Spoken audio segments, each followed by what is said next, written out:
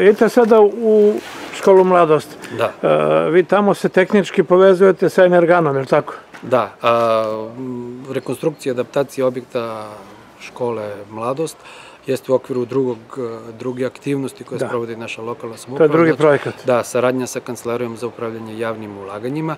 Ovaj segment e, grejanja smo rešili na drugi način, zato što smo iskoristili mogućnost e, priključenja na gradski toplovod koji prolazi neposredno pored objekta Da. i na taj način smo i taj Nisu objekat... da, veliki. troškovi priključenja nisu bili veliki, tako da i taj objekat biće i dobija sada neko... I sad idete na sad prijem. idemo da ovom, danas bi trebalo da krene sa, sa postupkom, procesom prijema radova.